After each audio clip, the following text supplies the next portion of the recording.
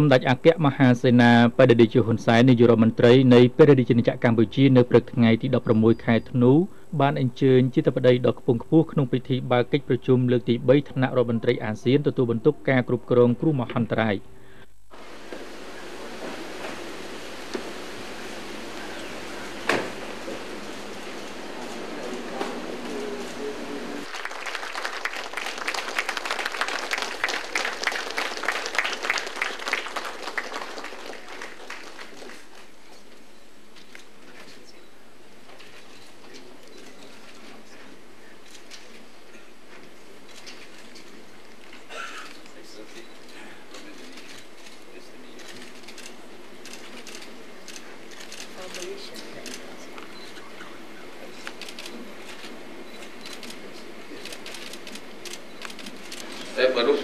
ក្នុងពិធីបើកកិច្ចប្រជុំនៅសន្តាគារកម្ពុជាឌីយ៉ាណាអាដាមបណ្ឌិតញឹមបណ្ដា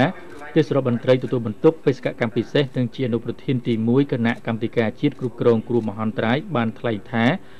នៅក្នុងភូមិភាគអាស៊ីអាគ្នេយ៍ត្រូវបានចាត់ទុកថាជាតំបន់ស្ថិតក្នុងភាពប្រកបដោយគ្រោះថ្នាក់នៃគ្រោះមហន្តរាយដោយធម្មជាតិនានាដូចជាការរំជួយដី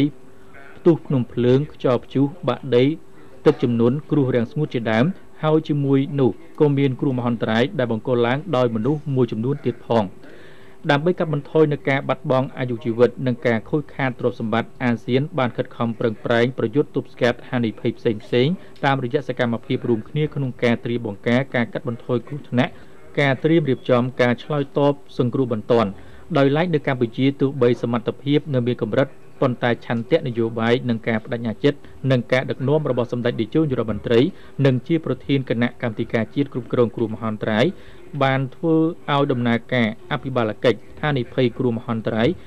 ដើម្បីគ្រប់គ្រងគ្រោះមហន្តរាយប្រកបដោយប្រសិទ្ធភាពដោយពង្រឹងរចនាសម្ព័ន្ធគ្រប់គ្រងគ្រោះមហន្តរាយថ្នាក់ជាតិក្រសួងស្ថាប័នរាជធានីខេត្តក្រុងស្រុកខណ្ឌឃុំសង្កាត់និងភូមិលើការត្រៀមបង្ការគ្រោះមហន្តរាយដោយបញ្ជ្រាបនិង សមរណកម្មការកាត់បន្ថយហានិភ័យគ្រោះមហន្តរាយទៅក្នុងផែនការនិងកម្មវិធីអភិវឌ្ឍដោយនៅពេលថ្មីថ្មីនេះកម្ពុជាបានប្រកាសឲ្យប្រើច្បាប់ស្តីពីការគ្រប់គ្រងគ្រោះមហន្តរាយផងដែរសូមបញ្ជាក់ថាកិច្ចប្រជុំលើកទី3ថ្នាក់រដ្ឋមន្ត្រីអាស៊ានទទួលបន្ទុកគ្រោះមហន្តរាយនៅពេលនេះបានបង្ហាញឲ្យឃើញច្បាស់អំពីកិច្ចសហប្រតិបត្តិការតំបន់ ជាកត្តាសំខាន់នៃអាយុជីវិតព្រោះថានៅពេលមានគ្រោះមហន្តរាយទ្រង់ទ្រាយធំហួសពីសមត្ថភាព និងលទ្ធភាព មានតែកិច្ចសហប្រតិបត្តិការតំបន់ដែលអាចដោះស្រាយការគ្រប់គ្រងបានតាមស្មារតីកិច្ចព្រមព្រៀងអាស៊ានស្តីពីការគ្រប់គ្រងគ្រោះមហន្តរាយនិងការឆ្លើយតបសង្គ្រោះបន្ទាន់និងចូលរួមចំណែកដោះស្រាយបញ្ហាប្រឈមដោយប្រើកិច្ចសហប្រតិបត្តិការមជ្ឈមណ្ឌលសម្របសម្រួលអាស៊ានសម្រាប់ជំនួយមនុស្សធម៌សម្រាប់ការគ្រប់គ្រងគ្រោះមហន្តរាយ ហើយបញ្ហាដែលនឹងត្រូវដាក់ស្នើសុំការពិនិត្យនិងយល់ព្រមពីសំណាក់រដ្ឋមន្ត្រីអាស៊ានរួមមានការពិនិត្យរបាយការណ៍របស់ប្រធានគណៈកម្មាធិការគ្រប់គ្រងគ្រោះមហន្តរាយអាស៊ាន ការពិភាក្សាអំពីទស្សនវិស័យកិច្ចព្រមព្រៀងអាស៊ានស្តីពីការគ្រប់គ្រងគ្រោះមហន្តរាយនិងការឆ្លើយតបសង្គ្រោះបន្ទាន់2025ការពិនិត្យបញ្ចប់នៅសេចក្តីព្រៀងសេចក្តីប្រកាសស្តីពីអាស៊ានតែមួយការឆ្លើយតបតែមួយ និងពិនិត្យពិភាក្សាអំពីការសម្រួលការ បងវិភាគទានប្រចាំឆ្នាំដើម្បីទ្រទ្រង់ដល់មជ្ឈមណ្ឌលសម្របសម្រួលជំនួយមនុស្សធម៌អាស៊ានសម្រាប់ការគ្រប់គ្រងគ្រោះមហន្តរាយនិងកិច្ចព្រមព្រៀងអាស៊ាន ស្តីពីការគ្រប់គ្រងគ្រោះមហន្តរាយនិងការឆ្លើយតបសង្គ្រោះបន្ទាន់សម្ដេចអគ្គមហាសេនាបតីរាជាហ៊ុនសែននាយករដ្ឋមន្ត្រីនៃព្រះរាជាណាចក្រកម្ពុជាអញ្ជើញថ្លែងសន្ទរកថាបើកកិច្ចប្រជុំលើកទី3ថ្នាក់រដ្ឋមន្ត្រីអាស៊ានទទួលបន្ទុកការគ្រប់គ្រងគ្រោះមហន្តរាយក្នុងខ្លឹមសារដូចតទៅ។ សូមអញ្ជើញឲ្យបានលីលួនលីបើកិច្ចប្រជុំ Now we would like to respectfully invite សម្ដេចអគ្គមហាសេនាបតីតេជោហ៊ុនសែន Prime Minister of Cambodia to deliver opening remarks អរំលោកជំទាវថ្នាក់ដឹកនាំប្រទេសសមាជិកអាស៊ានទទួលបន្ទុកគ្រប់គ្រងគ្រោះមហន្តរាយអាដាមអគ្គលេខាធិការអាស៊ាន អាយដាមលោកជំទាវអស់លោកលោកស្រីខ្ញុំមានសេចក្តីរីករាយជាណែកដែលបានមកចូលរួម ក្នុងពិធីបើកកិច្ចប្រជុំលើកទី3ថ្នាក់រដ្ឋមន្ត្រីអាស៊ានទទួលបន្ទុកការគ្រប់គ្រងគ្រោះមហន្តរាយនាពេលនេះក្នុងនាមរាជរដ្ឋាភិបាល និងប្រជាជនកម្ពុជាខ្ញុំសូមសម្ដែងនៅការស្វាគមន៍ដ៏កក់ក្ដៅជូនចំពោះឯកឧត្តម លោកជំទាវលោកលោកស្រីភៀវកិត្តិយសជាតិអន្តរជាតិទាំងអស់ដែលបានអញ្ជើញចូលរួមក្នុងកិច្ចប្រជុំដ៏មានសារៈសំខាន់នេះនេះគឺជាលើកទី2ហើយដែលកម្ពុជាទទួលជាម្ចាស់ផ្ទះនៃកិច្ចប្រជុំថ្នាក់អាស៊ានថ្នាក់រដ្ឋមន្ត្រីអាស៊ានទទួលបន្ទុកការគ្រប់គ្រងគ្រោះមហន្តរាយខ្ញុំនៅចាំបានថា ក្នុងកិច្ចប្រជុំលើកទី1កាលពីថ្ងៃទី7ខែធ្នូ ឆ្នាំ2004យើងបានពិភាក្សាអំពីការរៀបចំឲ្យមានកិច្ចព្រមព្រៀងថ្នាក់តំបន់សម្រាប់ការគ្រប់គ្រងគ្រោះមហន្តរាយនិងការឆ្លើយតបសងគ្រោះបន្ទាន់ហើយក៏បានផ្ដល់នៅការយកចិត្តទុកដាក់ដល់គណៈកម្មការគ្រប់គ្រងគ្រោះមហន្តរាយអាស៊ាន ក្នុងការរៀបចំឯកសារសម្រាប់ការគ្រប់គ្រងគ្រោះមហន្តរាយតំបន់ព្រមជាមួយនេះ យើងក៏បានបង្កើតទិវាអាស៊ានគ្រប់គ្រងគ្រោះមហន្តរាយរួមជាមួយទិវាអន្តរជាតិកាត់បន្ថយគ្រោះមហន្តរាយដែលត្រូវបានអនុម័តជារៀងរាល់អនុវត្តជារៀងរាល់ឆ្នាំរហូតមក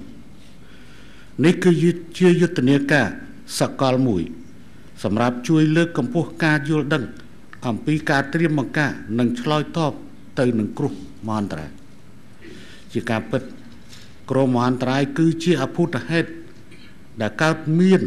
នៅលើលោកយើងនេះ តាំងពីយូរលង់ណាស់មកហើយអ្វីត្បិតថាវាអាចកើតឡើងដោយមូលហេតុនិងក្នុងសន្តានផ្សេងផ្សេងគ្នាក៏ដោយក៏ប៉ុន្តែគ្រោះមហន្តរាយគឺជាបញ្ហាប្រឈមដ៏ចម្បងមួយ សម្រាប់គ្រប់ប្រទេស និងប្រជាជាតិមិនថាតូចឬធំនោះទេ ជាមួយនឹងការវិវត្តឈានឡើងនៃសង្គមនិងបច្ចេកវិទ្យាក្នុងយុគសម័យបច្ចុប្បន្នពិសេសក្នុងបរិការដែលពិភពលោកត្រូវប្រឈមមុខនឹងបញ្ហានៃការផ្លាស់ប្ដូរអាកាសធាតុដែលមានលក្ខណៈកាន់តែស្រួយស្រាលឡើងគ្រោះមហន្តរាយក៏បានកើតឡើងកាន់តែញឹកញាប់និងទំហំកាន់តែធំនិងកាន់តែពិបាកប៉ាន់ស្មានឡើងដែលធ្វើឲ្យបាត់បង់អាយុជីវិតមនុស្សនិងទ្រព្យ សម្បត្តិសម្ភារៈជាច្រើនឥតគណនីជាក់ស្ដែងពេលនេះប្រទេសហ្វីលីពីនកំពុងបន្តកិច្ចខិតខំប្រឹងប្រែងយ៉ាងសកម្មរបស់ខ្លួនក្នុងការគ្រប់គ្រងសភាពការខ្យល់ព្យុះមេលឺ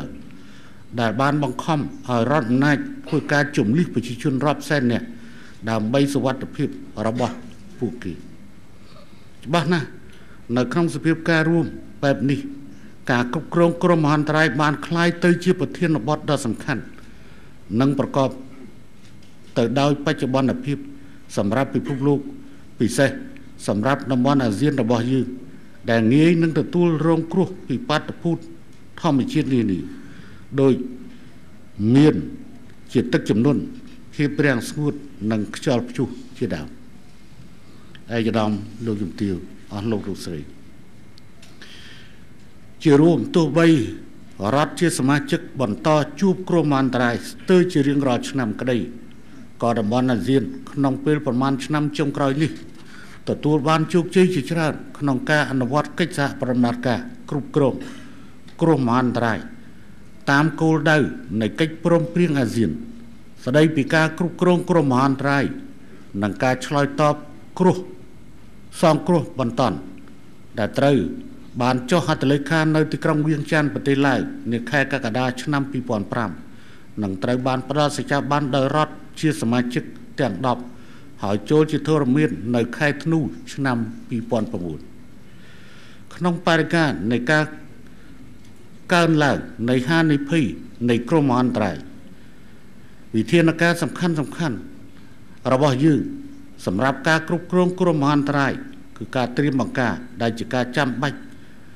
ឲ្យមានកិច្ចសហប្រតិបត្តិការយ៉ាងជិតស្និទ្ធរវាងប្រទេសជិតខាងនៅក្នុងតំបន់ក្នុងនោះវិធានការជាកលឹះសំខាន់សំខាន់ដែលទាមទារឲ្យមាន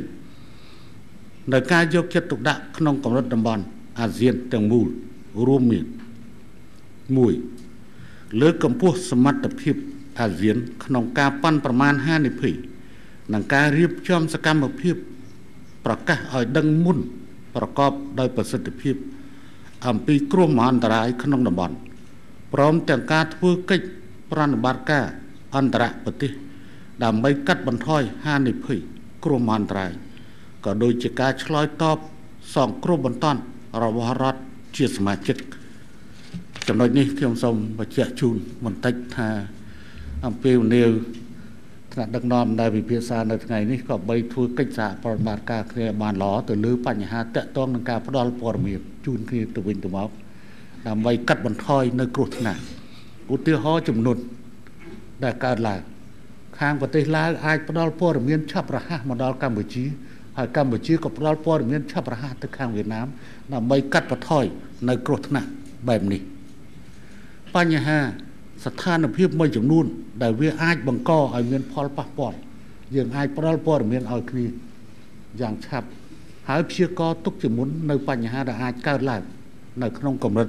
តំបន់ឬក៏កម្រិតប្រទេសដែលមានជាប់ព្រំដែនជាមួយគ្នាជាមួយនឹងថៃគឺយើងមានតំបន់មួយចំនួនដែលដីថៃខ្ពស់ជាងកម្ពុជា នៅពេលដែលបើកទំនប់ឬក៏ទឹកជំនន់នៅខេត្តមួយចំនួនរបស់ថៃក៏ត្រូវបានផ្ដល់ព័ត៌មានទុកជាមុនឲ្យកម្ពុជាដើម្បីប្រុងប្រយ័ត្នប្រុងប្រៀប ទៅលើហានិភ័យដែលបានកើតឡើងទៅតាមបណ្ដាខេត្តដែលជាប់នឹងព្រំដែនថៃចំណុចអស់ទាំងនេះហើយក៏មានបញ្ហាភ្លើងឆេះប្រេងផងដែរដែលអាចផ្ដល់ព័ត៌មានឲ្យគ្នាទៅវិញទៅមកដើម្បីងាយស្រួលធ្វើសហប្រតិបត្តិការក្នុងការគ្រប់គ្រងការឆេះប្រេងឆ្លងដែនទី2ការជួយដល់រដ្ឋជាសមាជិកក្នុងការបញ្ជ្រាបការកាត់បន្ថយហានិភ័យគ្រោះមហន្តរាយ នៅក្នុងគោលនយោបាយផែនការអភិវឌ្ឍកម្មវិធី តាមវិស័យនីមួយៗរបស់រដ្ឋនីមួយៗនិងការជួយដល់ការរៀបចំអនុវត្តនៅវិធានការកាត់បន្ថយហានិភ័យគ្រោះមហន្តរាយតាក់ទងនឹងការប្រែប្រួលអាកាសធាតុនិងធានាការអភិវឌ្ឍប្រកបដោយចីរភាព3ការបង្កើនវិធានការត្រៀមរៀបចំរបស់រដ្ឋជាសមាជិក ក្នុងការលើកកម្ពស់ការឆ្លើយតបរបស់អាស៊ានចំពោះគ្រោះមហន្តរាយធំធំ ដែលស្របតាមស្តង់ដារមនុស្សធម៌និងការគៀងគរធនធានយ៉ាងឆាប់រហ័សស្របតាមនីតិវិធីប្រណិប័តការ4ការអភិវឌ្ឍសមត្ថភាពបច្ចេកទេសនិងស្ថាប័នរបស់រដ្ឋជាសមាជិក ក្នុងការដឹកនាំសម្របសម្រួលព្រមទាំងការកសាងសមត្ថភាព ក្នុងការវិយតម្លៃការខូចខាត និងបាត់បង់សម្រាប់សកម្មភាពស្ដារឡើងវិញក៏ដូចជាកម្មវិធីបណ្ដុះបណ្ដាលការផ្លាស់ប្ដូរចំណេះដឹងបទពិសោធន៍និងជំនាញ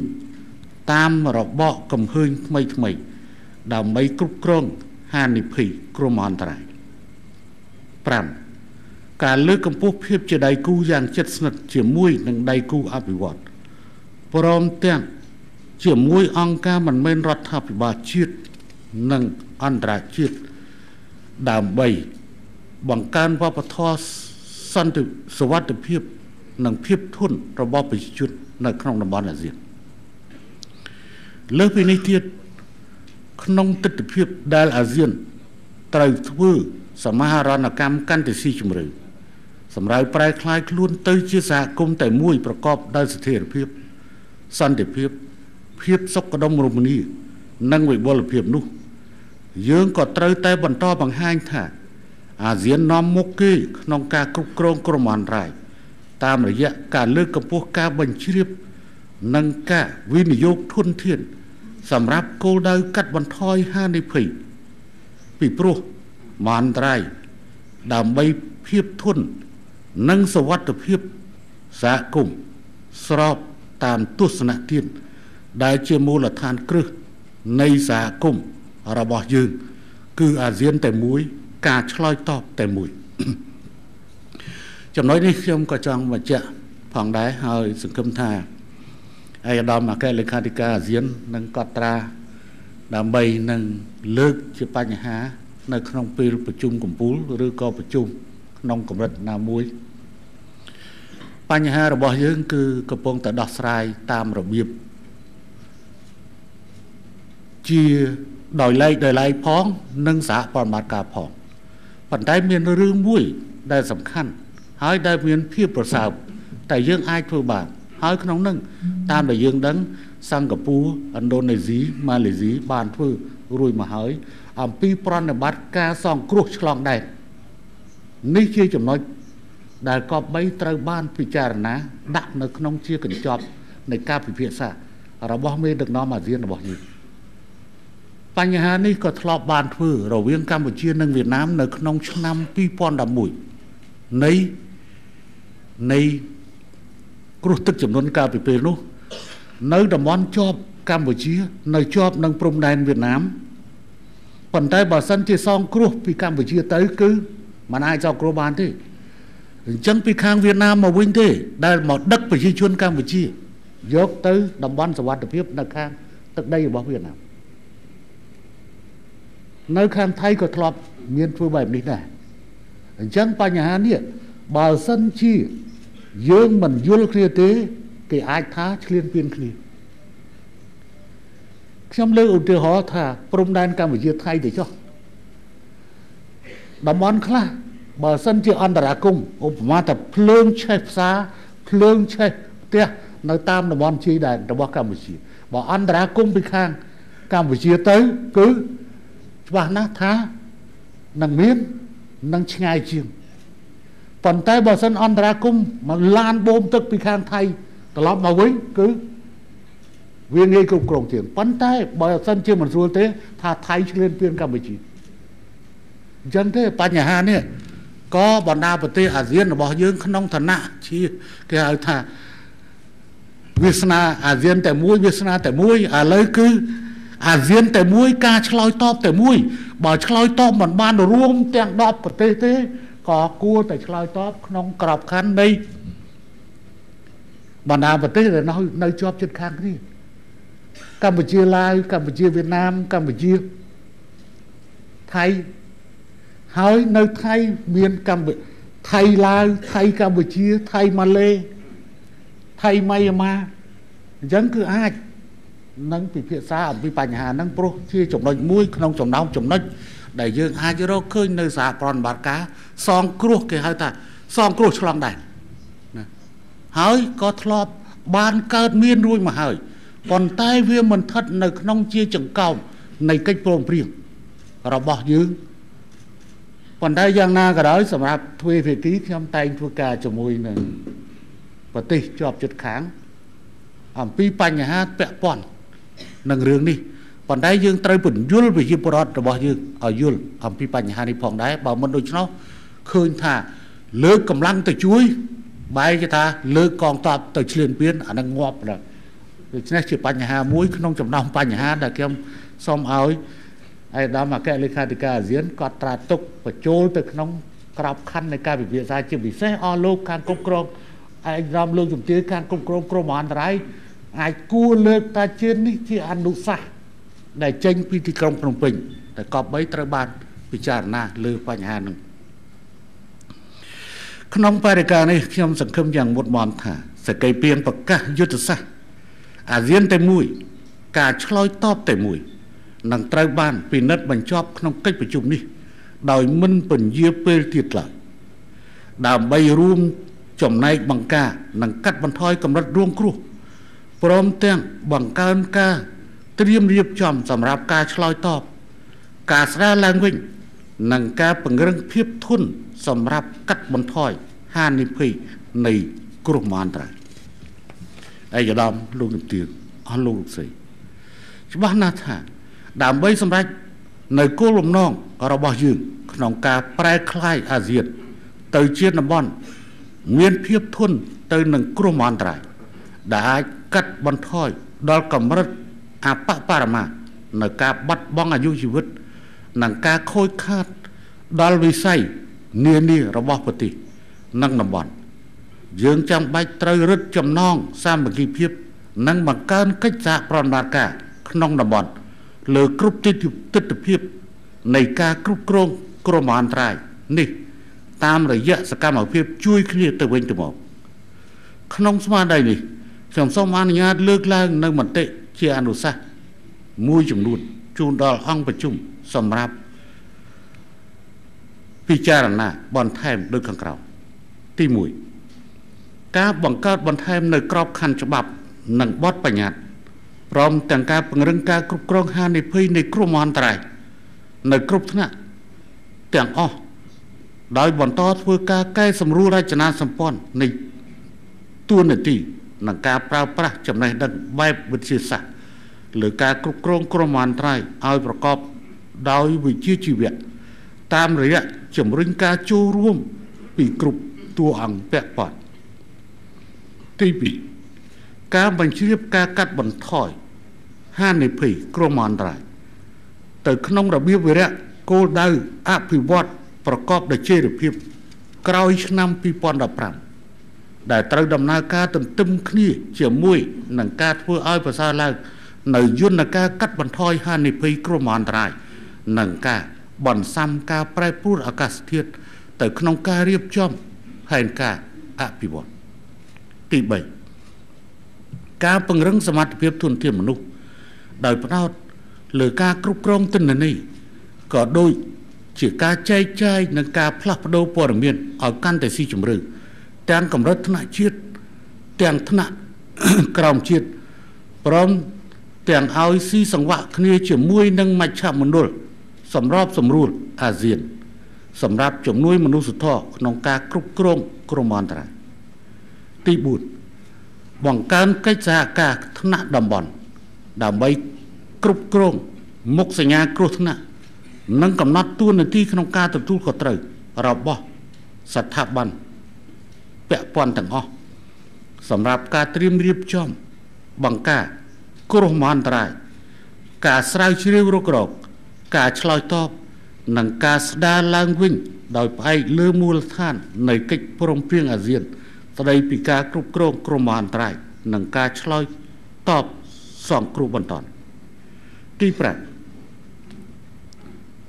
ការបន្តពង្រឹងវិធីសាស្ត្រដោះស្រាយពហុមុខសញ្ញាគ្រោះថ្នាក់ ដោយគិតគូរសំខាន់ដល់ភាពងាយរងគ្រោះផ្នែកសេដ្ឋកិច្ចនិងសង្គមគិច្ចព្រមទាំងការប៉ាន់ប្រមាណកម្រិតរងគ្រោះនិងហានិភ័យដើម្បីត្រៀមរៀបចំសម្រាប់ការឆ្លើយតបទៅនឹងគ្រោះមហន្តរាយប្រកបដោយប្រសិទ្ធភាពនៅចុងបញ្ចប់ខ្ញុំសូមជូនពរឲ្យកិច្ចប្រជុំនេះប្រព្រឹត្តទៅប្រកបដោយជោគជ័យនិងទទួលបានលទ្ធផលប្រកបដោយផ្លែផ្កានិងសូមជូនពរឯកឧត្តមលោកជំទាវអស់លោកលោកស្រី សូមទទួលបាននៅការស្នាក់នៅប្រកប